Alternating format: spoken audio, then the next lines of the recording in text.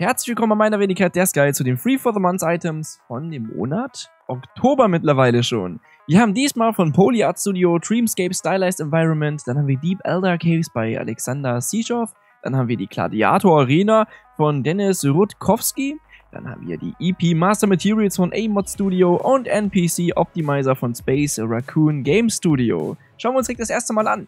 Als allererstes haben wir das Dreamscape Stylized Environment Tower Stylized Nature Open World Fantasy Pack. Ja, das war ein langer Name, ich weiß. Was ehemals 85 Euro gekostet hat und jetzt für 0 Euro kostenlos für euch zur Verfügung steht.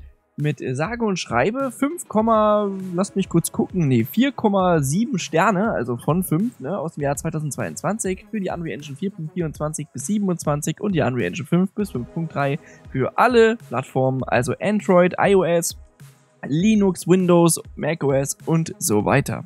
Das Ganze ist ein Asset Pack im Stil von, ich würde sagen, Genshin, also jedenfalls kommt das so rüber und hat 150 Stylized Meshes. Das bedeutet halt, in dem Stylized Style, wie ihr sehen könnt, haben wir davon 150 Meshes, die sehr gut optimiert sind und wir nutzen hier auch Runtime Virtual Texturing, jedenfalls für das Gras und für die Pflanzen.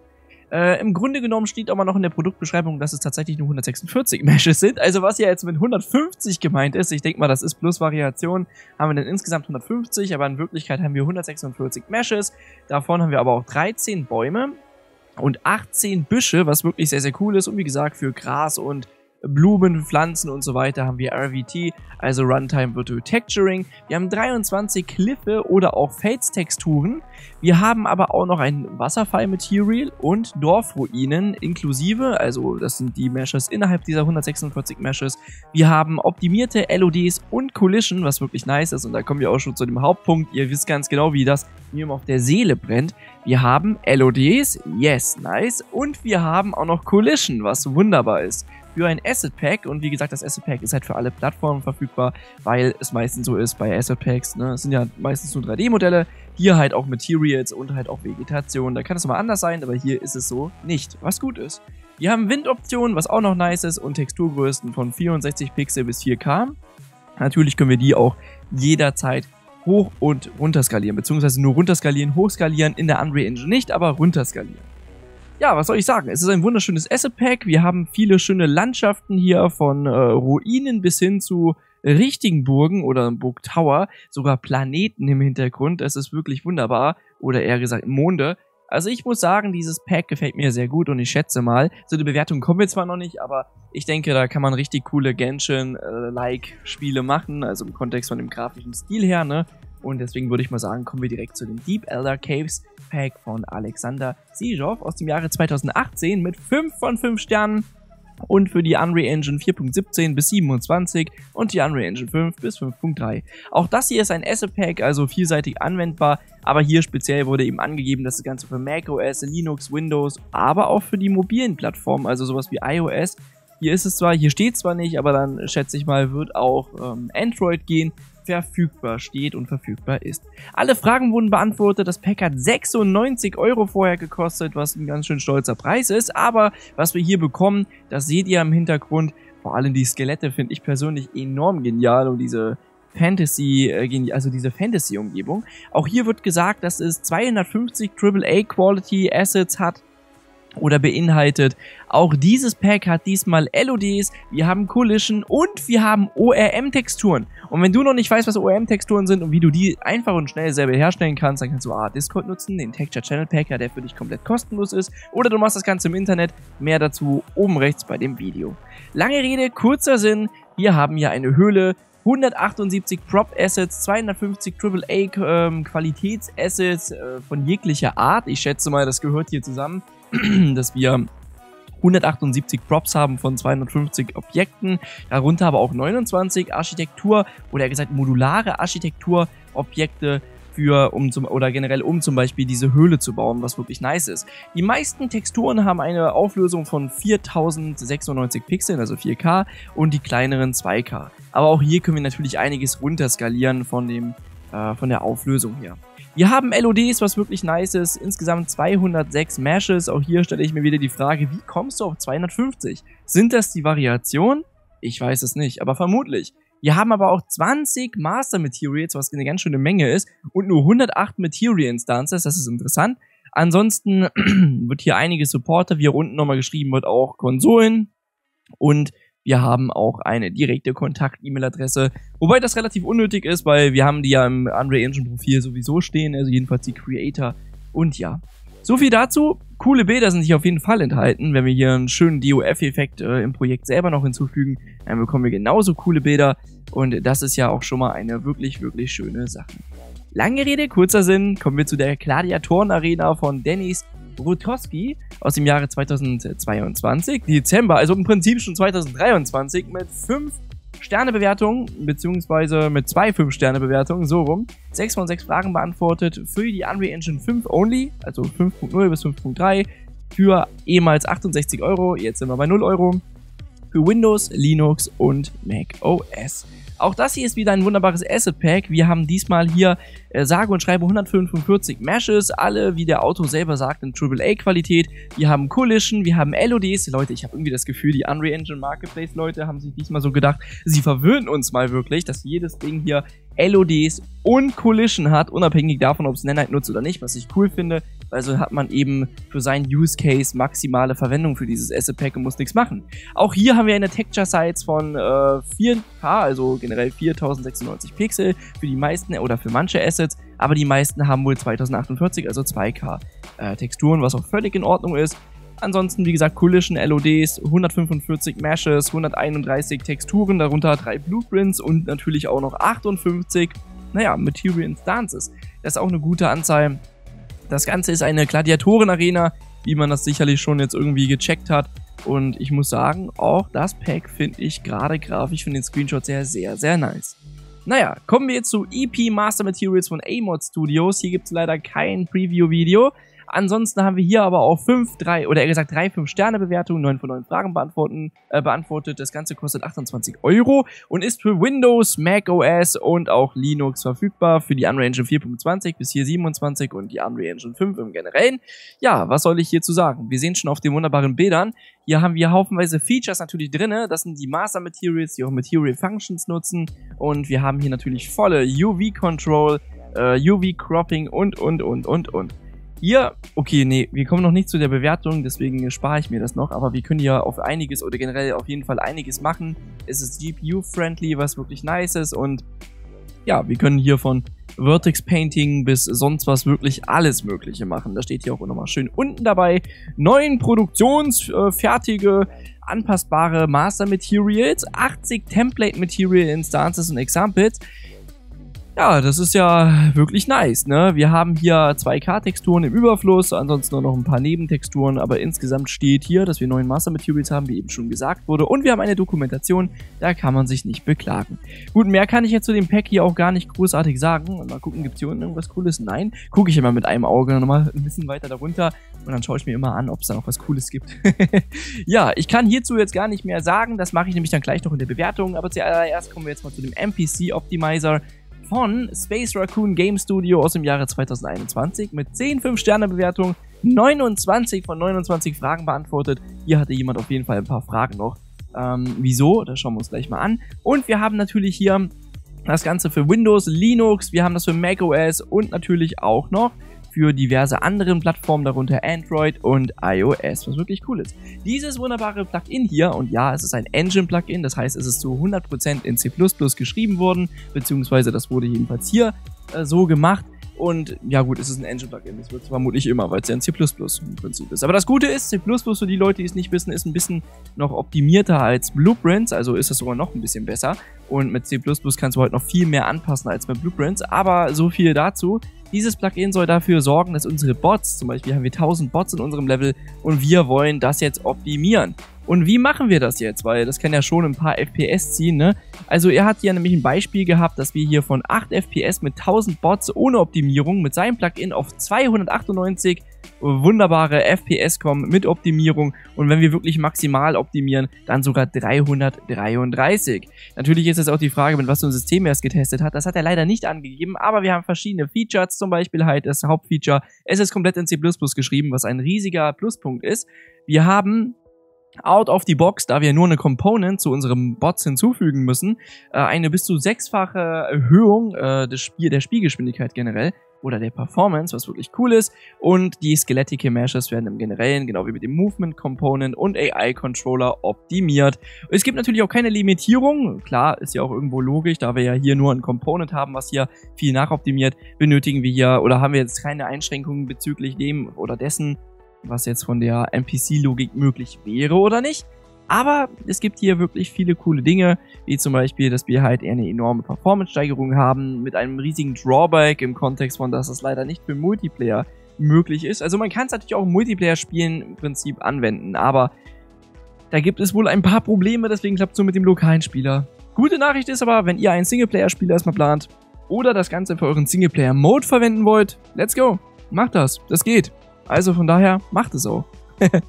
ja, das Ganze macht nicht nur die, oder macht das Ganze, also die ganze NPCs nicht nur unsichtbar, sondern kann es oder kann sie auch freezen, wenn man sie nicht mehr sieht, all nach. Aber haben wir hier eine Dokumentation? Ja, wir haben eine Dokumentation und ja, wir haben einen Support Discord Channel, was wirklich schon mal gut ist. Ein Example Project, was auch nice ist, Videos etc.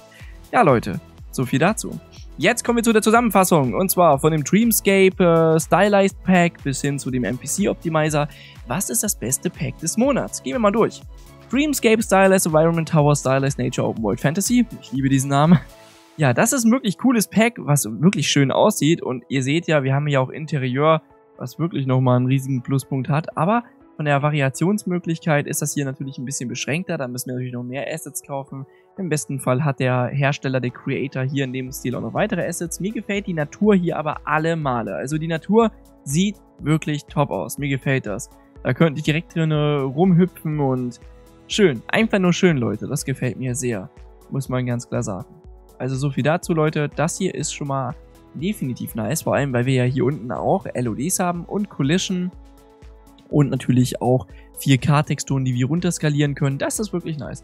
Unreal Engine 4 Support, Unreal Engine 5 Support. Für mir gibt es auch einen Support für, sage und schreibe 5 Sterne, für Dreamscape Stylus Environment Tower. Also, 5 Sterne für dich hier, Poly Art Studio. Jetzt kommen wir zu Deep Elder Caves. Oh, Deep Elder Caves, das ist natürlich auch noch eine Sache. Hat ähm, auch viele Meshes, genau wie das Pack davor und es sieht einfach wirklich nur klasse aus. Ein wunderbares Skelett, also das ist wirklich, damit liebäugle ich auch schon gerade, ob ich das in BOD mal irgendwo anwende. Aber ich finde ja so Fantasy Environments enorm nice und das hat einfach irgendwie was. Ich weiß nicht. Warum das Skelett da steht, das weiß ich nicht. Vielleicht bewegt sich ja, das wäre dann ein bisschen gruselig. Aber in generell würde ich sagen, das wird, glaube ich, nicht mehr so da stehen. Aber hier, sowas hier, wo die dann da rumsitzen oder wo die hier auf dem Boden verstreut sind, mit diesen Maya-ähnlichen äh, kleinen Figürchen, das ist wirklich sehr, sehr nice. Hier dieses Skelett, also ich bin mir nicht sicher, ob das noch so in einem Stück da hängen würde. Aber nevermind, sind das hier Münzen? Vermutlich sind es Münzen. Das ist halt so Fantasy, verhextmäßiges. Ich finde es top. Auch das hier bekommt 5 Sterne von mir. Wir haben ebenfalls LODs und Collision. Auch hier, Props gehen wieder raus. Nice one. Oh, eine Sekunde gerade noch. Ja, auch Collision, genau, hier haben wir auch ORM-Texturen. Das sollte eigentlich mittlerweile Standard sein. Aber auf der anderen Seite, ja, sollte sein, muss nicht sein, kann der User auch im Notfall noch selber machen. Aber wenn man es dann macht, dann soll man es angeben und wenn man es nicht macht, dann hat man eben auch nicht. Dann kann man im Nachhinein auch nicht sagen, auch wenn ich finde, es sollte Standard sein, wenn es hier nicht angegeben ist, kann man auch nicht sagen, dass es dabei stand. Also von daher ist es auch okay. Fünf Sterne. Gladiator Arena Environment Kit von Denis Rutowski. Rut, warte mal, Rutkowski, so, jetzt habe ich's. wir haben auch hier wiederum einige hochqualitative Meshes. Auch hier haben wir Collision und LODs, das ist wunderbar. Ich bin mir jetzt nicht sicher, dazu dank gerade meine Kreativität nicht so richtig, was man hiermit anfangen könnte vom generellen Pack her. So mal, wenn ich das hier richtig sehe, lass mich mal kurz gucken, wo war das? Haben wir eigentlich, hier fehlt leider ein Bild, ähm, keine Ahnung, ob das an mir liegt oder nicht, aber so wie das jetzt gerade aussieht, haben wir kein Exterieur, ja, also das hier ist ja alles nur im Prinzip Interieur, aber kein Exterieur und deswegen ist das hier vielleicht ganz nice, so eine Deathmatch Arena, wenn ihr so ein 1 vs 1 oder so machen wollt, vielleicht für so eine Art Wartelobby oder sowas, aber ja, wie man das so von Minecraft-Servern kennt, ne? Aber ich weiß jetzt halt nicht, für was man das hier sonst verwenden sollen würde oder könnte. Und deswegen, keine Ahnung, vielleicht fällt euch was ein. Wenn ja, schreibt es mir gerne unten in die Kommentare. Von meiner Seite aus vier Sterne, ähm, aber fairerweise muss man hier auch fünf Sterne geben, weil er hat hier nichts falsch gemacht. Wir haben LODs, wir haben Coalition, nur die Anwendbarkeit. Da würde ich sagen, das kommt schon mal nicht in das oder in die Frage des besten oder das beste Asset des Monats zu sein, einfach weil ich nicht immer wüsste, wofür ich das jetzt großartig verwenden sollte, weil ich kann es ja noch nicht mal in so eine römische Umgebung hinstellen, weil wir ja hier, wie man sehen kann, noch nicht mal ein Exterieur haben. Oder irre ich mich? Also wenn ich mich irre, gerne ähm, korrigieren. Ja, ansonsten nices Pack, 5 Sterne, weil ich kann da halt nichts bemängeln, außer dass ich halt nicht genau weiß, worum es hier gehen soll, aber hier steht ja auch nicht, dass es jetzt ja, Arena-Kit, das ist halt so eine Sache. Hm. Ja, hm. Es gibt halt kein Exterieur, was ich ja sehr blöd finde, weil wenn ich es in eine Stadt stelle, kann ich es ja nicht verwenden, oder? Hm. Also Leute, ich kann es euch leider jetzt gerade nicht äh, sagen, ob das jetzt hier... Also ich weiß nicht, wie ich es bewerten soll, weil das stört mich schon, aber das ist ja nichts, was jetzt hier steht, dass es ein Exterieur hat. Es hat irgendwie keins und das ist halt aber auch nichts, was jetzt hier beworben wurde. Also kann ich ja dafür schlecht irgendeinen Stern abziehen. Ihr versteht vermutlich, was ich meine, aber ich wüsste jetzt nicht, wofür man das verwenden sollten könnte, außer für eine Wartelobby, weil man, kann, man hat ja keine Außenansicht, ne? Jetzt kommen wir zu EP Master Materials. Dieses Pack hier, da habe ich ja eben gesagt, ich warte bis zur Bewertung. Das ist wirklich nice und wir haben schöne Master Materials, gerade wenn ihr lernen wollt, wie man solche Master Materials bastelt, dann ist das hier wirklich eine coole Sache. Aber ich muss ganz ehrlich fragen, benötigen wir denn so ein, ja, Eye Perfection Master Material wirklich? Wir haben hier ein perfektes Master Material, wo alles mögliche drin ist, nur vermutlich benötigen wir die Hälfte nicht mal für unser Spiel. Also ist doch die Frage, ob sich das hier überhaupt lohnt, weil äh, ehrlich gesagt, gut, dann haben wir hier Vertex Painting, was wirklich cool ist und wir haben Opacity und Class, Text Inside Opacity Class. Warte mal, der Text ist hier drinne. Und warum sieht der Text dann nicht verändert aus? Naja, egal, never mind. Aber das ist ja wirklich alles schön und gut, aber die Frage ist, benötigen wir das denn wirklich alles? Ich habe eben auch hier gesehen, Water Puddles, das ist cool, Crunch Wall, Vertex Painting, wie gesagt. Wir haben hier alles mögliche. Hier Vertex Painting mit Transi Transition Mask, was wirklich cool ist. Aber auf der anderen Seite haben wir auch Distance Based, Based Tessellation, Immersive, gut. Aber die Frage ist, okay, ich habe jetzt hier mein wunderbares Projekt. Benötige ich Displacement? Vermutlich nein. Vertex with Transition Mask? Ja, vielleicht ähm, Parallax äh, oder Parallax äh, oder Parallax, so Occlusion Mapping, weiß ich nicht. Ist es cool, aber benötigen wir das wirklich für jedes unserer Projekte? Das heißt, wir haben hier ein Material, was äußerst komplex ist und wir benutzen vielleicht noch nicht mal die Hälfte dieser genannten Features hier. Weiß nicht, also ob das dann jetzt eine sinnvolle Sache ist oder nicht, das müsst ihr entscheiden. Ich glaube ehrlich gesagt, und das tut mir leid, aber nein. Deswegen würde ich hier vier Sterne geben. Es ist ein cooles Material, aber hier muss ich ganz ehrlich sagen, die Anwendbarkeit, das ist beim Asset-Pack vielleicht anders, aber hier ist es ja ein Master-Material, das heißt, wir müssen auch die Anwendbarkeit letztendlich bewerten, weil das ja dann unser Master-Material ist, das Material der Materials, wo alle unsere Material-Instances drauf beruhen. Und da würde ich sagen, ist das hier nicht so gegeben. Also vier Sterne, auch wenn es ein 5 Sterne Material ist, aber die Anwendbarkeit ist, also ob ich das nutzen kann, die Usability ne, ist auf vier Sterne, würde ich meinen. Vielleicht irre ich mich. Was ist eure Meinung dazu? Wir haben hier auf jeden Fall neun Stück. Zum Lernen ist es hier bestimmt top. Aber auch hier Cropping, UV-Cropping. Wozu brauche ich UV-Cropping, wenn ich eigentlich meine 3D-Objekte ja so mache, dass ich äh, direkt zugeschnittene Materials habe? Und hier ist dann halt auch die Frage, haben wir hier ORM-Support? Vermutlich nicht. Äh, weiß ich aber nicht, will ich auch gar nicht bewerten, aber das ist so eine Sache. Optimization Calculation. Ja, das ist schön, aber wie gesagt, braucht man's? Ich weiß es nicht. Jetzt kommen wir zu NPC Optimizer von Space Re äh, Raccoon äh, Game Studio. Oh, warte, ich muss die ganzen Titel hier aussprechen. NPC Optimizer Automatic oder Automatic Optimizer NPC for your game. ja, wunderbar. Hier kann ich auch gar nicht irgendwie großartig viele Dinge kritisieren, außer dass wir natürlich leider keine oder keinen Multiplayer-Support haben. Aber er scheint ja das zu halten, was er hier bewirbt. Und das heißt, auch hier und auch du bekommst 5 Sterne. Documentation. Ähm. Ah, okay. Er hat also noch eine Frage, eine Documentation gibt es aber hier. Fairerweise gucke ich mal kurz rein. Nicht, dass wir hier zu irgendeinem Stuss kommen. Aber nein, das hier scheint alles zu funktionieren. Es ist sehr, sehr gut aufgelistet. Example Project, hier haben wir alles Mögliche. Hier kommt jetzt auch, wie wir das Ganze einfügen und so. Also da muss ich sagen, das finde ich ja nicht schlecht, ne? Ähm, not bad. Not bad, not bad. Also von daher, Props gehen raus. 5 Sterne. Was ist das beste Plugin oder das beste Asset Pack des Monats?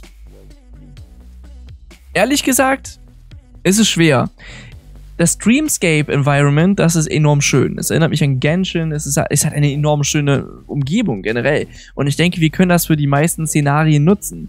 Dagegen ist aber das Deep Elder Caves Pack auch extrem schön, kann aber nur in, also in einer oder generell in einer Höhle äh, in Rinne genutzt werden, was auch ungünstig ist, aber damit können wir ganze Höhlen bauen.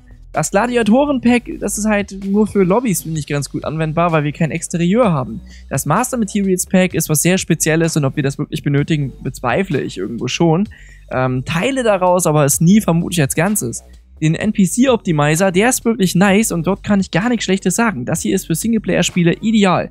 Deswegen würde ich sagen, entweder der NPC-Optimizer oder das Streamscape Environment, weil wir hier ähm, Auto haben, außer ihr benötigt nur Höhen, dann wäre das hier natürlich eure Wahl. Aber ich würde sagen, der Automatic NPC Optimizer, äh, Optimization Component Plugin-Kram. Ich wollte jetzt den Satz nicht nochmal umbauen. ja, das ist das ähm, Monat äh, oder generell das Asset des Monats, weil ich denke, das kann fast jeder nutzen, außer ihr macht Multiplayer-Game.